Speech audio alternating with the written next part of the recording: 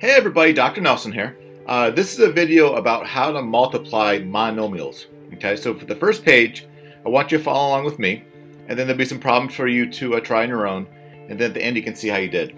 All right, so the rule is pretty simple when, when you multiply um, monomials, and here it is. It says when you multiply two powers having the same base, okay, you add the exponents.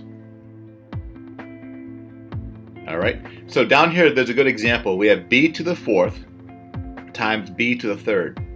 So the, the bases are both b's. So the rule is you add the exponents. So this would equal b to the 4 plus third power, which really equals b to the seventh power.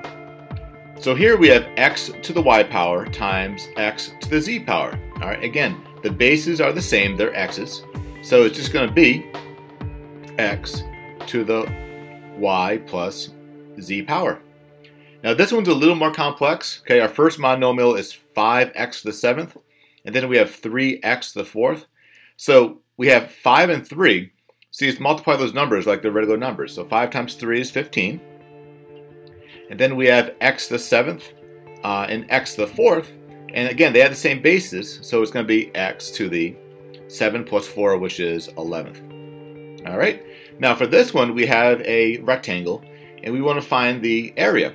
So again, to find the area, you have to do area equals length times width. And we know our length is x squared y cubed. And we know our width is x to the sixth and y to the fourth. So we're going to first multiply x squared times x to the sixth because they have the same basis. So that's going to be x to the 8th because 2 plus 6 gives you 8. And then we have the y cubed and y to the 4th. Uh, again, they share a common base of a y.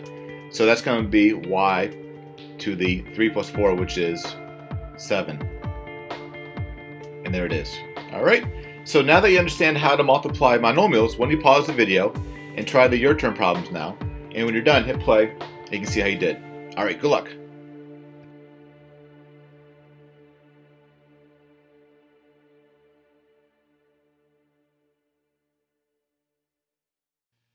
All right, welcome back. Let's say do with these practice problems. Okay, so r to the fourth times r to the fifth, that would be r to the ninth. Again, we have the same bases of r, right? So you need to add the exponents. 4 plus 5 gives you 9. Here we have p to the sixth times p to the eighth times p squared. And again, all three have the same base of p. So it's going to be p to the uh, 2 plus 8 is 10, plus 6 is 16th power. Here we have uh, 5x squared y cubed uh, times negative 8x to the 7th y to the 4th. So 5 times negative 8 will give you negative 40. And then x squared times x to the 7th would be x to the 9th. And then y cubed times y to the 4th would give you y to the 7th power. And this one, again, we want to find the area of the rectangle. So again, area equals length times width and we know our length is 4x to the 7th. And we know our width is 5x to the 4th. So 4 times 5 gives you 20.